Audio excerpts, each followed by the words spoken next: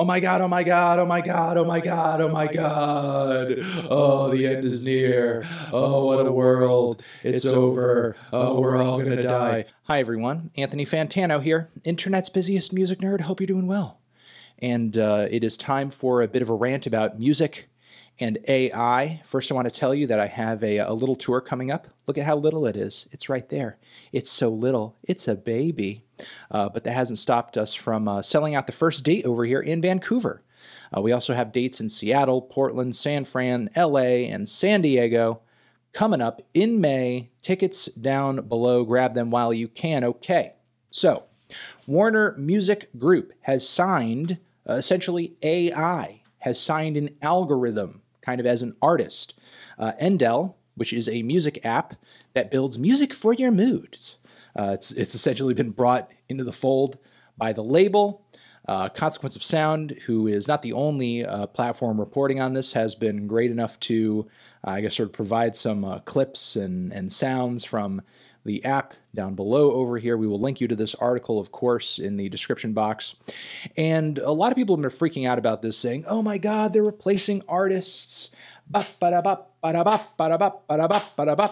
And, and certainly this is worrying. I think that uh, a lot of artists out there, and rightfully so, fear uh, being replaced by robots and programs and ones and zeros, and there won't be any need for songwriters or producers or anything anymore because uh, whatever app you're using will just kind of do all of it for you. Uh, however, I, I kind of doubt that that's going to be the case anytime soon, that you're going to have um, AI that is going to be uh, as artistically intuitive as, uh, as a human being, and whether or not machines or uh, uh, algorithms will be able to kind of bring new sounds and trends, ideas into the fold as opposed to just kind of copying or mimicking uh, what music and, and sounds that uh, programmers have been able to feed into uh, whatever app or algorithm they are presenting to consumers. Um, I wouldn't freak out too hard about this as of right now because basically the purpose of this app is to provide wallpaper music, background music, that sort of thing. Uh, we've already seen, unfortunately, uh, platforms like Spotify not really respecting these styles of music in the way that uh, maybe they should, with uh, just throwing like you know no name Muzak artists into playlists uh, that are supposed to be you know for ambient artists and, and that sort of thing.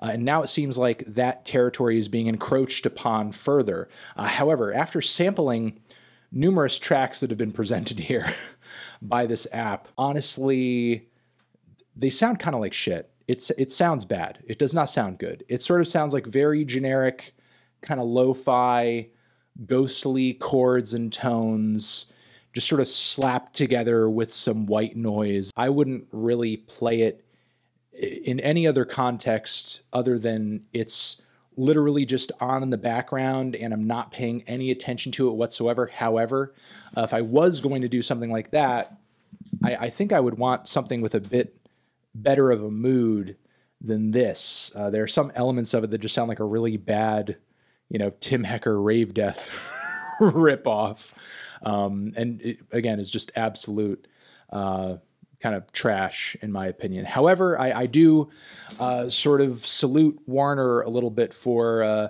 uh, kind of jumping ahead of the curve here and thinking, okay, well, you know, maybe this algorithm stuff, maybe this AI stuff is the future. And I think audiences, uh, while there are a lot of artists out there who will freak out at this headline, I do think audiences generally uh, will be receptive to exactly this kind of thing if it's being presented to them in a way where hey, you know, this isn't your favorite singer songwriter. This isn't Frank Ocean. This isn't something that's going to move you. It's just, it's utilitarian. You know, it's just chill out music. It's just, you know, mind numbing, do nothing, you know, just relax type music. If you uh, sort of sell audiences on this music serving more of a functional purpose than an emotional purpose, I think a lot of people won't really have any reservations with listening to it, even though, like, um, you know, a, a robot or an algorithm or a program made it necessarily. However, is that sort of the first step in the wrong direction? You know, will that put us in a position where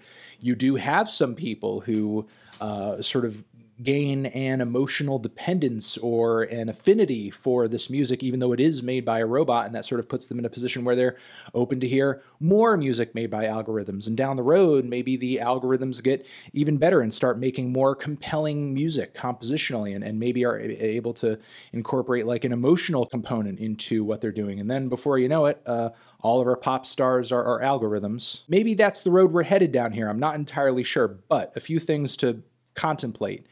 Would that not put us in a position where essentially the programmers of the algorithm or the programmers of whatever this software is, that they essentially become the artists? Because that's really who's being signed here, essentially. Either the programmers or the company that made the program. They are essentially the artists. They are essentially the people who are going to be paid. You're not going to like turn on the news one day and then all of a sudden like an algorithm's out there jumping out of a limo. They're stunting. They're looking fresh. They've spent $200,000 on a chain. Though I do wonder if we're moving toward a future where the programmers of the algorithm become the new pop stars and they're the ones who are like really sexy and they're the people who we idolize.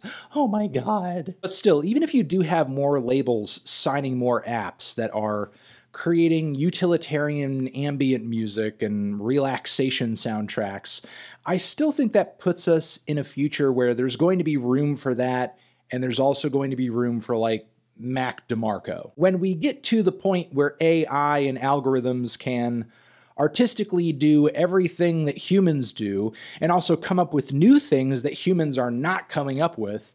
Uh, and those things are actually hitting with audiences. Until all of that stuff is occurring, I'm not sure we need to freak out. But still, I do find this story and this concept kind of interesting, and it does, I think, put a lot of people, especially in the ambient music world, uh, in a sort of precarious situation because honestly, I would hate to think of somebody listening to this record and and loving it and it being like a part of their usual everyday musical diet. Uh, and yet there are so many other more compelling ambient releases out there honestly, which I think would serve as even better mood setters than the handful of tracks I, I heard off of uh, what Endel has, has offered here. So those are essentially my thoughts on the situation as of right now. Uh, you guys are free to check out this article and some music from the Endel app below, and uh, we will see you in, in the next one, okay? You're the best, you're the best, you're the best. Over here is another video that you can check out. Hit that up or the link to subscribe to the channel uh, Ambient the Knee Fan Endel forever.